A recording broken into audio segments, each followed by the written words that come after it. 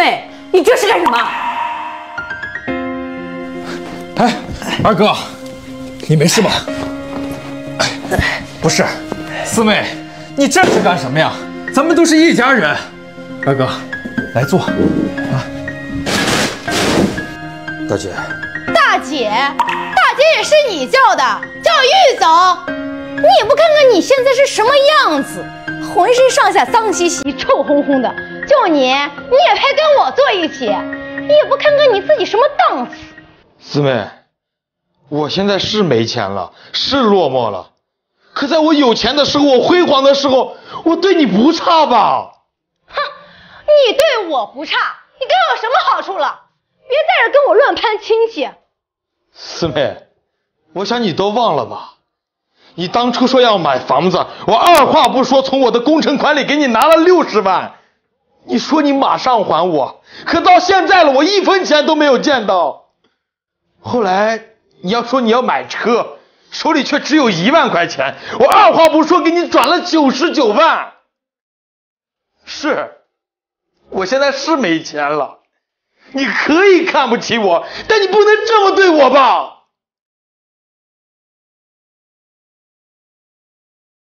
大姐，三弟。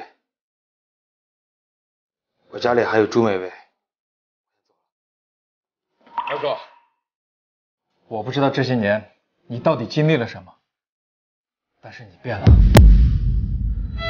我没变。朋友说我远了，兄弟说我变了，就连亲戚朋友都说指望不上我了。我也想跟你们一样坐在这里聊聊天、喝喝茶。可是我没钱，是现实的社会把我逼成了这样。我没变，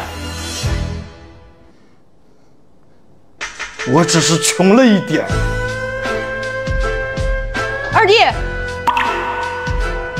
过来坐。怎么，连我的话你都不听了吗？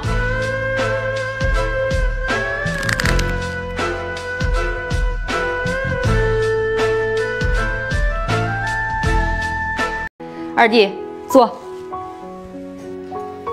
二哥，坐吧。二弟，这是这些年你借给我的钱，连本带利还给你。二弟，我的公司正在缺人，我希望你能过来帮我。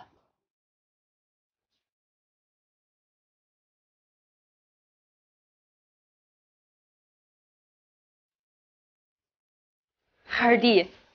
你记住，我们是亲姐弟，血浓于水呀。无论你在外面遇到任何困难，都有大姐在，姐永远是你最坚强的后盾。